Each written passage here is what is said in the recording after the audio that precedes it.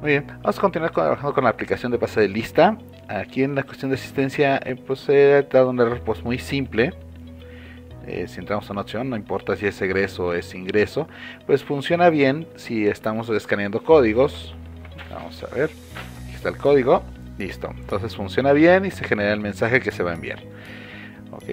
Pero eh, si escaneamos un código de alguien que no existe, por ejemplo, código de barras de algún producto. Ok. Aquí trata de enviar un mensaje a un sitio nulo. ¿sí? Aquí se puede ver. ¿sí? Entonces, eh, ¿por qué? Pues porque obviamente ese código de barras no corresponde a ninguno de los estudiantes. Entonces, eh, no debería de enviarse el mensaje, no debería de intentar enviarse el mensaje. Entonces, ese es el problema con esta parte de la aplicación que hay que corregir. Esa es una de las cosas que hay que hacerle, pero también le vamos a hacer una mejora. La mejora en que consistirá, bueno, pues que en caso de que alguien trate de detectar o ingresar un código de barras no válido, nos marque un error de entrada y pues nos invite a escanear nuevamente. Pero además de eso, vamos a hacer que en caso de que escaneemos por ahí un código, eh, nos dé la opción de enviar un WhatsApp si el padre de familia prefiere que el mensaje se le envíe vía WhatsApp. Y la otra opción va a ser que si el padre de familia dice que solo quiere el SMS, pues le enviaremos el SMS. Bueno, si quieres ver cómo se desarrolla esta parte, quédate conmigo, vamos a trabajar. Muy bien, he empezado aquí en lo que es este, una copia de la aplicación para no dañarla. Así que tenemos aquí ya la copia. Vamos a cerrar y bueno, vamos a empezar. Resulta que tenemos que hacer que las piezas encajen porque tenemos un problema ahí con los datos. Eh, ocurre que cuando se da de alta una asistencia y se escanea un código de barras equivocado, pues nos causa falla. Bueno, vamos a arreglar esa parte. Vamos a entrar aquí en ver columnas. Y la pregunta es dónde se haría. Eh, podríamos hacerlo aquí en la búsqueda de alumno. Pero yo creo que más bien lo que hay que hacer es simplemente que la matrícula sea válida entonces vamos a entrar aquí en matrícula. Vamos a entrar en validación de datos y vamos a crear una validación de datos. ¿qué validación se necesita? bueno pues se necesita que eh, la matrícula sí exista en la tabla de los alumnos. Bueno, lo que tendríamos que hacer es poner aquí la tabla de alumnos en su campo que sería pues matrícula ¿Por qué? Porque así logramos hacer que busque en la tabla de alumnos la matrícula. Y si la matrícula existe, pues simplemente si la va a aceptar y si no, no la va a aceptar. Y ahora, ¿qué haremos en caso de que no? Pues se supone que debíamos desplegar el mensaje, pues alumno no encontrado. Muy bien, vamos a dejarlo ahí. Esto debe de resolver el problema de lo que es este la entrada no válida de algún código. Vamos a grabar y a probar. Muy bien, ya grabé los cambios en la aplicación, le voy a dar el botón de sincronizar. Bien, está sincronizando la API. Le voy a en asistencia. Ahora sí el botón más. Bien, y eh, vamos a declarar un ingreso. Y ahora eh, vamos a escanear una matrícula. Probemos primero con una que sí funciona. Vamos a ver. Muy bien, ahí está tratando de enviar un mensaje de texto. Entonces esa parte ya funciona bien. Ahora vamos a intentarlo con este un código que no sea correcto. Vamos a probar. Bien, ya me está rechazando la entrada. Entonces esto pues va muy muy bien. Eh, vamos a regresar a la aplicación para seguir haciendo cambios. Bueno, lo que sigue no está tan complicado. Vamos a empezar a moverle. Eh, lo que vamos a hacer es entrar a lo que es el behavior. Ya tenemos una base, tenemos lo que es el mensaje de texto que se ha enviado, pero lo que quiero ahora es crear un mensaje de WhatsApp. Entonces voy a definir una nueva acción. Le voy a poner ahí WhatsApp, que va a ser el nombre de mi acción. Y luego voy a poner aquí lo que es este, qué tal le voy a basar, asistencia. Y voy a ponerle aquí que precisamente voy a llamar a un sitio web Bien, ahí en el sitio web, el target, esa es la pantalla que creo que es muy importante. Eh, bueno, voy a utilizar esto como base. Entonces, eh, lo que voy a hacer es dirigirme al sitio de WhatsApp, donde voy a enviar al teléfono.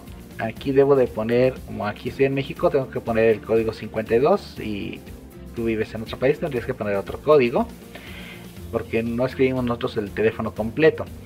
Y luego tendríamos que convertir a número el número de teléfono. Ahorita veo cómo extraigo el número de teléfono pero para eso me voy a basar en el mensaje de la, de la clase anterior de la sección anterior. Entonces eh, eso y voy a poner aquí el mensaje el mensaje en un encode URL este pues facilita el trabajo de la hora de capturar el mensaje en código URL pues nos deja escribir el mensaje como texto con acentos y todo y no nos da ningún problema a la hora de enviar información. Entonces dónde voy a sacar estos datos bueno primero voy a grabar como está. Bien, y voy a aprovecharme de que ya están ahí este, los datos en el programa del SMS que hicimos la clase anterior. Bien ¿por qué? porque aquí puedo tener el número de teléfono. Aquí tengo select teléfono y de alumno de alumno. Entonces lo puedo copiar y ponerlo directamente en la parte que puse aquí del mensaje de WhatsApp. Entonces quito este y pongo el otro. Ahí está. Bien, si lo reconoció, si lo aceptó. Bueno, y me faltaría el mensaje. También el mensaje no voy a molestarme en codificarlo porque ya tenemos aquí el mismo mensaje, nada más que se va a enviar en diferente medio. Entonces, pues lo copio y lo paso directamente a mi versión de WhatsApp. Bien, entonces quedaría así. Eh, me dirijo a la API de WhatsApp en un teléfono que empieza en 52. Ahí voy a concatenar eh, la cadena de texto que corresponde al número de teléfono que está hasta aquí. Después de eso voy a concatenar eh, esta pequeña frase es ampersand texto que quiere decir que es lo que va del mensaje y voy a hacer el codificado del mensaje tal cual. Entonces creo que va a funcionar perfecto a la primera. Vamos a, darle grabar. Y algo muy importante que no se nos olvide que tenemos que activar launch external para que eh, nos lance la aplicación de whatsapp. Bien y pues nada voy a rajar en lo que es la apariencia entonces vamos a ver si hay una apariencia para teléfono. Bien voy a utilizar esta. Aunque de todos modos no voy a hacer que el icono se vea así que pues suena curioso pero bueno voy a ponerlo así ahorita para poder hacer pruebas. Le doy salvar. Y vamos a probar en el teléfono. Muy bien ya estoy en el teléfono voy a darle sincronizar. Bueno estoy en asistencia ¿sí? y vamos a darle un egreso como todavía está en automático los mensajes, lo que voy a hacer es entrar a un registro que ya esté hecho. Y le voy a dar al botón de WhatsApp. Bien, y aquí ya me está preguntando si quiere abrir WhatsApp. Entonces, eh, bueno, el teléfono era inventado, no, no iba a funcionar. Eh, a ver, pero si probamos con el otro mensaje, con Lola, vamos a ver si podemos enviar el mensaje. Vamos a ir WhatsApp. Bien, y le damos ahí en WhatsApp. Muy bien ahí sí está enviando el mensaje. Entonces todo está perfectamente bien. Eh, sí está funcionando. Excelente con esto, ¿eh? Preguntarle si nos va a manejar lo que es el WhatsApp o lo que son los datos. Tenemos que guardarlos en algún lugar. Entonces, en la tabla de tutor, eh, aquí en columnas, pues voy a tener que agregar una columna nueva que nos diga si la persona desea el mensaje vía WhatsApp o lo desea vía teléfono entonces eh, pues creo que por ahí va a ser el movimiento. Entraría a tablas. Y le diría que quiero ver la fuente de datos. Aquí está mi fuente de datos que es mi hoja de cálculo. Lo que es en la tabla de los tutores pues tengo que agregar un nuevo campo que se llame whatsapp. Vamos a ver ahí WhatsApp. y ahí voy a ponerle si es whatsapp o no es whatsapp. Así de sencillo Bien, vamos a regresarnos aquí a la aplicación, en lo que es este el tutor. Eh, le digo que quiero ver las columnas y que quiero regenerar la estructura. Bien, ahí estoy con la estructura generándose. Aquí está WhatsApp, voy a ponerlo como un campo de sí o no. Vamos a personalizar ese campo. Bien, eh, va a ser tipo sí o no. Eh, aquí es el mensaje que va a aparecer en caso de que se diga que sí entonces no este es en caso de no. Voy a poner que no. Y pues grabo. Y en caso de sí pues también le vamos a poner que sí. Y pues grabo. Listo. Ya están mis campos de siono y yo creo que voy a ponerle un autocompute para que el valor inicial sea este que sí. Ya si la gente quiere cambiarlo a no pues que lo cambie. Pero vamos a probar por default que si queremos enviar mensaje de whatsapp. Bien y le voy a poner aquí en don bueno grabamos los cambios. Ahora eh, voy a checar eso. Entraría en el alumno digamos el primer alumno aquí está y entraría en su tutor. En su tutor voy a modificar para poder agregar si sí o si no. Vamos a poner que el primero este que sí. Eh, luego vamos a ir con el otro alumno. Y este lo voy a poner que no. Vamos a buscar su tutor modificamos le voy a poner que no que este sea por mensaje de texto y modificamos. Ya está digamos esa parte. Vamos a ver cómo se grabaron los datos ahí en la tabla de, tutores. Bien sí sí se grabaron correctamente verdadero falso ya están las modificaciones. Ok entonces eh, qué es lo que sigue qué es lo que sigue porque pongo bola ah, ok. Necesitamos que dependiendo de ese valor se ejecute lo que sea un, un mensaje o el otro. O sea esta acción de SMS se ejecute según el valor de lo que diga el campo de WhatsApp y la de WhatsApp también se ejecute según el valor del campo de WhatsApp. Entonces eso lo vamos a hacer aquí en Behavior y este aquí dice que solo cuando esta condición sea verdadera, entonces pues vamos a, a utilizar como base eso y cómo podemos acortar camino pues mm, ah sí aquí aquí dice que toma el valor del teléfono, pero pues, si le cambiamos va a ser muy rápido. ¿Por qué? Porque aquí este, lo que haríamos sería, este es para lo que es el SMS. Entonces le pondríamos falsa, es igual a esto, pero no el teléfono, sino el campo de WhatsApp. Vamos a tener el valor del campo de WhatsApp.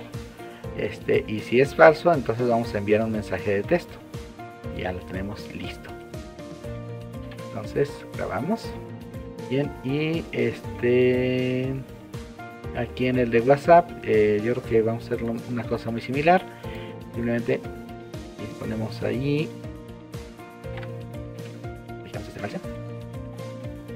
ok entonces en caso de ser verdadero se va a ejecutar esta acción esa parte ya medio funciona, pero nos falta un detallito para poder terminar con todo esto.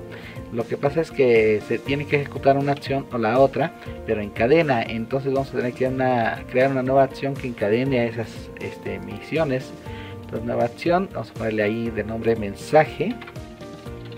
Bien, nos vamos a basar en la tabla de asistencia y lo que vamos a hacer es que se ejecuten las dos acciones que tenemos configuradas que sería la acción de enviar mensaje de texto y la acción de enviar WhatsApp. Bien, como las misiones están ya valoradas, entonces pues no, no hay mucho que hacer, simplemente se va a escoger de forma automática, eh, ya sea enviar el mensaje SMS o enviar el WhatsApp. Debe de funcionar, vamos a, probar, pero creo que me falta un detallito.